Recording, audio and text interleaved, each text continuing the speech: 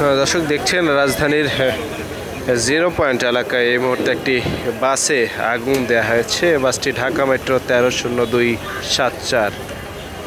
চলছে বিএনপির ঢাকা হরতাল কর্মসূচি এবং হরতাল সমর্থনে পল্টন এলাকা সহ বেশ কয়েকটি এলাকায় সমমনা দলগুলো কিন্তু তারা মিছিল করেছে এবং জিরো পয়েন্ট এলাকায় এটি বেশ কিছুক্ষণ আগেই বাসে আগুনের ঘটনা ঘটেছে। কে বা কারা আগুন দিয়েছে সে বিষয়ে এখনও জানা যায়নি। এরপর পরে ফায়ার সার্ভিসের দুটি ইউনিট এখানে এসেছেন এবং তারা আগুন নেভানোর কাজ করছে নেভাচ্ছে। যদিও ভেতরের যে সিটগুলো রয়েছিল, যা ছিল সবগুলো পুড়ে কিন্তু ভস্য হয়ে গিয়েছে।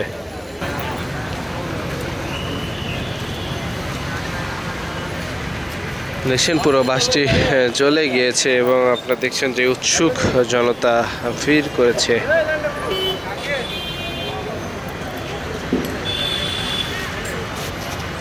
দর্শক, আপনারা দেখছেন আমাদের সময়, আপনাদের জানিয়ে রাখতে চাই, বিএনপি সহ সমমনা দলগুলোর ডাকা হরতাল চলছে এবং জিরো পয়েন্টে বেশ কিছুক্ষণ আগে একটি বাসে আগুন দেওয়া হয়েছে। কে বা কারা আগুন দিয়েছে এখনও জানা যায়নি। দর্শক আপনারা দেখছেন আমাদের সময়। সঙ্গে আছি আমি আক্তর জুবাল। আপনাদের যে বিষয়টি জানাচ্ছিলাম যে গুলিস্তান জিরো পয়েন্টে একটু সামনে বাইতুল মাকার দক্ষিণ গেটের সামনে মালঞ্চ বাসে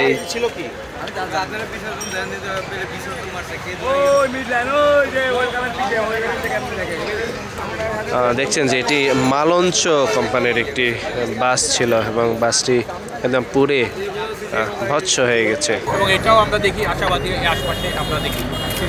কেমন কি আছে? সিসি ক্যামেরা কেমন কি আছে? সেটা দেখি। আমরা আশা করি যে হয়তো বা এটাও না না কোনো হতাহতের খবর পাওয়া যায় দর্শক আপনারা আপনারা দেখছিলেন আমাদের সময়। আপনাদের সঙ্গে আছি আমি আক্তার তো এই ছিল আমার কাছে সর্বশেষ। এবং পরবর্তী আপডেটে আপনাদের সঙ্গে আবারও যুক্ত হব। সে পর্যন্ত ভালো থাকুন থাকুন আমাদের সময়ের সাথেই।